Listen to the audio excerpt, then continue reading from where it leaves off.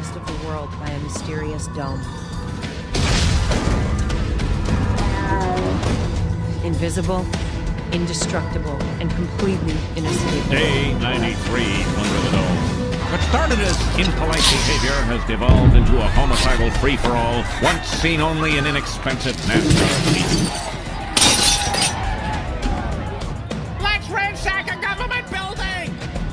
On Operation Fishbowl, nuclear detonations rent the sky five times. And if the sun is angled the right way, only when you're outdoors, you will get a rainbow.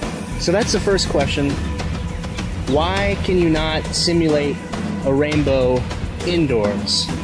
Uh, there's a stipulation. You can create a rainbow indoors, but you need a mirror. You need a mirror to, to do a science test and create a, a rainbow inside. So I beg the question if you need a mirror indoors, what's providing the mirror when you are outdoors? There is a mirror when you are outside to create the rainbow. And that mirror is the dome. It's catching sunlight and it's meeting itself to create all the various colors. It collides in the water droplet, serves as a lens, and the slight vari- uh, variations of angle creates the colors of the rainbow. A rainbow proves that there's a dome above your head.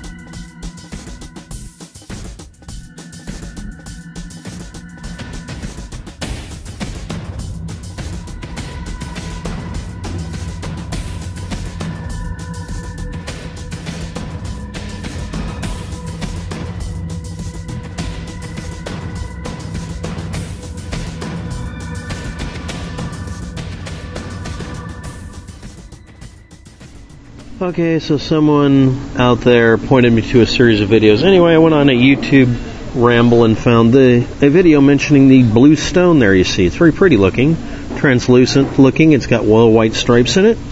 And it was mysterious and found by an archaeologist who couldn't explain it and somehow determined it was millions of years old and artificial somehow. So he had it analyzed. So it's not like there was a presumption of its age and it being artificial somehow. So here we go. Uh, it was supposed to be 77% oxygen, silicon, sodium, calcium, and carbon. So when something has a high percentage of oxygen, you can call it an oxide. And if it has silicon and sodium, it could be sodium silicate, uh, calcium silicate, car, uh, something like that, right? Well, and, and, there it is. It's right there. So here we go. We're just going to go here. You may have noticed there's an equation over on the left there that popped up. Here we go. So anyway, sodium silicate is uh, guess what color? Bright blue, and it can be artificial. It can be all sorts of colors. Um, so someone had a chemical analysis done of something, and the first thing that comes up when you type in 70% oxygen or more and silicon and sodium is sodium silicate. Uh, this is supposed to be a mystery. Now, when someone pointed this out in a YouTube video, he got ration of crap for it. So let's see what I get. Now, remember, this is what the stuff looked like. I didn't. Ty- I typed in sodium silicate. This is what came up. Okay. so anyway, it's called water glass. It's defined. It blah, blah, blah. Anyway, it's been around or understood since 1640 and you can have it as liquor of silicum, sil- silicum by melting sand with excess alkali. It can be an artificial material. It's a type of glass. Um, but you can do all sorts of other reactions to do it. You, it's used.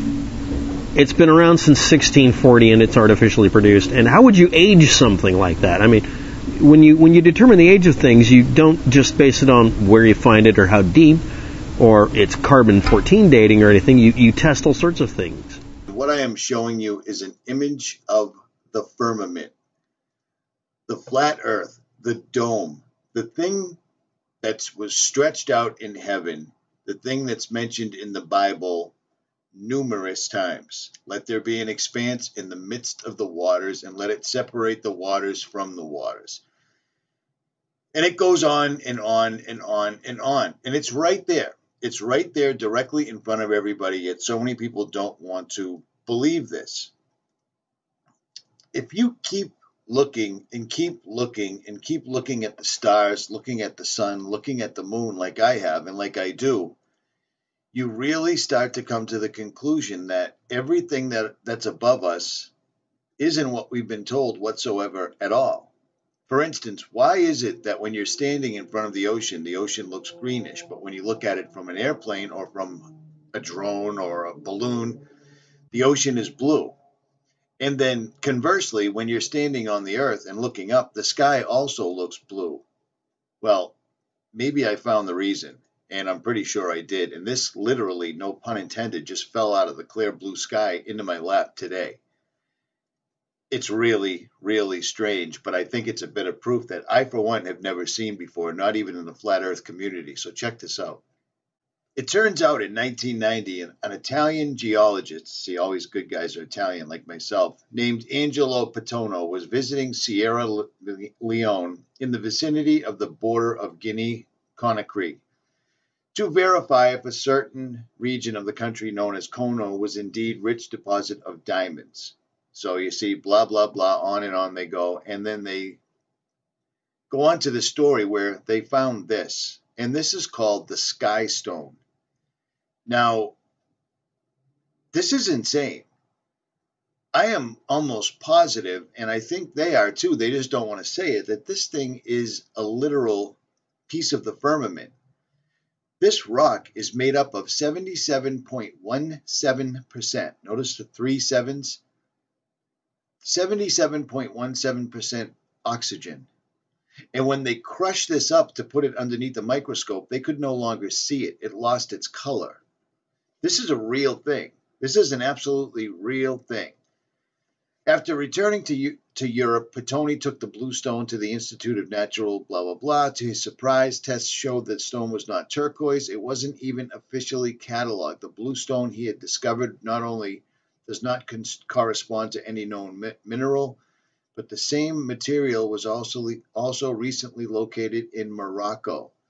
Do you see what's going on?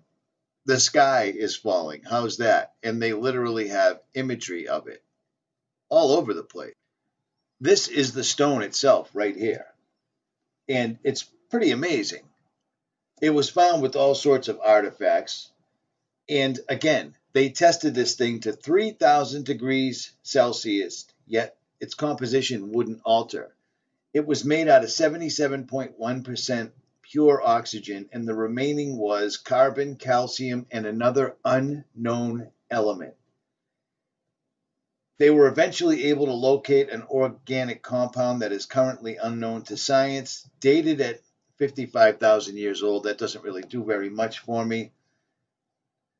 Amazingly, it seems that the sky stone is not unique. There has been, in fact, similar finds in other places on the Earth, most notably Brazil. The other sample of sky stone was submitted to GRS Swiss Labs for testing, and the analysis by an anonymous dealer. Intrigued artist, artist, American artist and designer Jared Collins tried to buy the small cutaway, but the dealer refused to sell it. He wouldn't even name a price for a larger full stone. So these guys have literally found these stones all over the world and look at it. It's exactly exactly the same color as the sky. It's made out of the same color. It's made out of the same elements that we literally breathe. This is, in my opinion, the firmament. Now, lots of people will try to, you know, what about the sun? What about the moon? In my opinion, the sun is incredibly close to us. And I can, you know, I've got hours and hours and hours and hours and hours of footage of the sun and the you know how close it is how local it is the sun doing odd things what appears to be two suns so forth and so on and then there's people that have never ending footage of the clouds behind the sun the clouds behind the moon so forth and so on and now suddenly we're having this enormous solar eclipse monday and the shadow is going to pass from west to east, which, if you had an object passing in front of another object, I guess you could cast a shadow from west to east. But the problem with that entire thing is it would mean the moon is orbiting twice a day around the earth. And that's not what's going on because I've got imagery of the, the moon sitting outside my house all day all day long in the clear blue sky. Clear blue sky. I got a funny feeling that this stuff has been around, that these guys know this, and the one reason, the one true reason that they hide the flat earth, the one true reason that NASA is always doing their going to space puppet shows and, oh, you know, people have the technology to see the moon now, but so we can't go back there. We lost the technology and it's upsetting. Is because they know if they tried to pull another moon landing hoax, we have the ability to see if they actually landed there, and they can't have that. They're hiding God, and that's all there is to it. I don't know what else to tell you. Every other civilization knew it, and now they all laugh at anyone that questions this and says, well, this was proven 500 years ago. It was proven 500 years ago. No, it was it was a rumor that was started by wealthy, rich, elite people 500 years ago that didn't even have the ability to fly up and test their theory.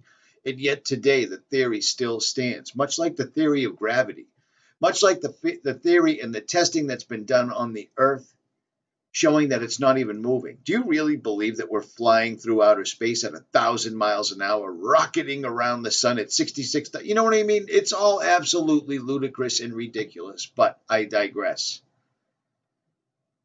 This is what's all around us. That is a small piece of the firmament. I can't stress it anymore. This is a real thing. This really did happen, and I've never heard of it in my entire life. 77.17% oxygen and then one unknown element. They can't break it, they can't burn it, they can't bend it, and they can't explain it, and they're not selling it. At any rate, links will be in the description. This pretty much wraps it up for me. I mean, it just wraps it up for me. There is no two ways about it. We are in a aliens. They're simply fallen angels and demons, exactly like they look like. We are in an enclosed system. The sun, the moon, the stars are all things just like the Bible told us they were. In 1990, an Italian geologist named Angelo Pittoni would find an unusual stone while visiting Sierra Leone, a mysterious artifact that has baffled all who have studied it. A local Fula chief was said to have given it to Pittoni, a blue stone with mysterious white lines upon its surface. After returning to Europe, Pittoni took the stone to the Institute of Natural Sciences of Geneva and then University La Sapienza in Rome for further analysis. To his surprise, tests revealed that it was not a turquoise, or indeed anything that could officially be identified. Furthermore, the blue stone didn't correspond to any known mineral. But the most intriguing thing is its colour. Researchers still do not understand how the stone has acquired or retained its colour. This even though several universities and laboratories have analysed the artifact at great length. It seems its colour remains a mystery. Mysteriously at the University of Utrecht, the stone underwent several tests with use of strong acids, but none of the acids could affect the stone. It was even heated to over 3000 degrees Celsius, yet its composition wasn't altered. When a small piece of the stone was pulverized and viewed under the microscope, it curiously lost its colour. Now known as the Sky Stone, according to analysis, an amazing 77.17% of the stone is somehow made of pure oxygen. The remaining percentage was divided between carbon, calcium and another unknown element.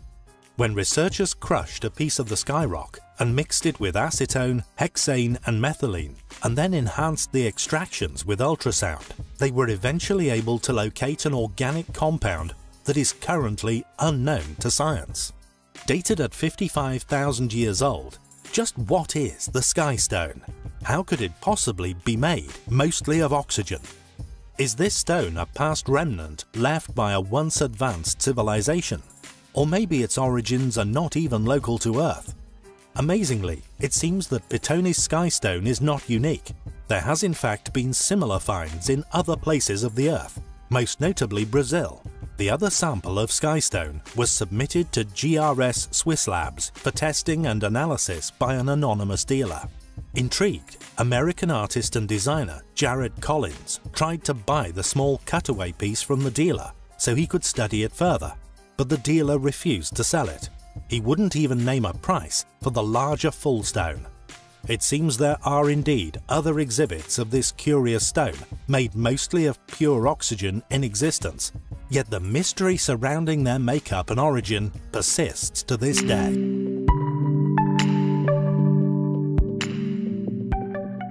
Question What was the firmament in the Bible? Answer The firmament, from the Latin firmamentum, meaning sky or expanse, is mentioned 17 times in the King James Version of the Bible and refers to the expanse of the heavens above the earth. Nine of the occurrences of firmament are in the first chapter of the Bible as part of the creation account. Genesis 1 to 6 8 says, And God said, Let there be a firmament in the midst of the waters, and let it divide the waters from the waters. And God made the firmament, and divided the waters which were under the firmament from the waters which were above the firmament, and it was so. And God called the firmament heaven. And the evening and the morning were the second day. The firmament is called heaven, that is, it is what people see when they stand outside and look up. It is the space which includes the Earth's atmosphere and the celestial realm. In the firmament, we see the sun, moon, and stars. In modern translations, the firmament is often called the expanse or the sky. Genesis says that the firmament separated the water under the expanse from the water above it. Genesis 1 7. Originally, God created the earth with water under the sky, terrestrial and subterranean water, and water above the sky, possibly a water canopy which enwrapped the earth in a protective layer. We find firmament used again in Psalms. The heavens declare the glory of God, and the firmament showeth his handiwork. Psalm 19 to 1. Also, in Psalm 150 to 1, Praise ye the Lord. Praise him in the firmament of his power. Firmament is used in only two other books of the Bible, Ezekiel, five times, and Daniel, once. In Ezekiel, each occurrence takes place within a vision. For example, then I looked, and, behold, in the firmament that was above the head of the cherubims there appeared over them as it were a sapphire stone, as the appearance of the likeness of a throne. Ezekiel 10 to 1. Daniel 12 to 3 says, And they that be wise shall shine as the brightness of the firmament, and they that turn many to righteousness as the stars forever and ever. In short, the firmament is a vast expanse, specifically the atmosphere or sky. The word is found only in the King James Version and other older translations of the Bible. Exodus 24:10 And they saw the God of Israel, and there was under his feet as it were a paved work of sapphire stone, and it was like the very heavens in its clarity. Moses and the 70 elders. Exodus 28:18 The second row shall be a turquoise, a sapphire, and a diamond. On the ephod of Aaron, the high priest. Exodus 39 colon 11, the second row, a turquoise, a sapphire, and a diamond. Same as above. Job 28 to 5 7, as for the earth, from it comes bread, but underneath it is turned up as by fire, its stones are the source of sapphires, and it contains gold dust. Job 28 hours 12 minutes minus 16, but where can wisdom be found? And where is the place of understanding?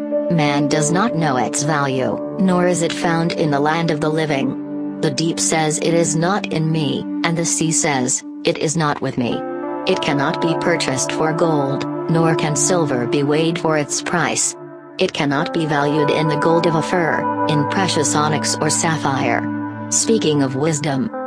Song of Solomon 5:14 His hands are rods of gold set with beryl. His body is carved with ivory inlaid with sapphires. My beloved. Isaiah 54 11, O you afflicted one, tossed with tempest, and not comforted, behold I will lay your stones with colorful gems, and lay our foundations with sapphires. Speaking of the church. Lamentations 4 to 7 Her Nazarites were brighter than snow and whiter than milk, they were more ruddy in body than rubies, like sapphire in their appearance.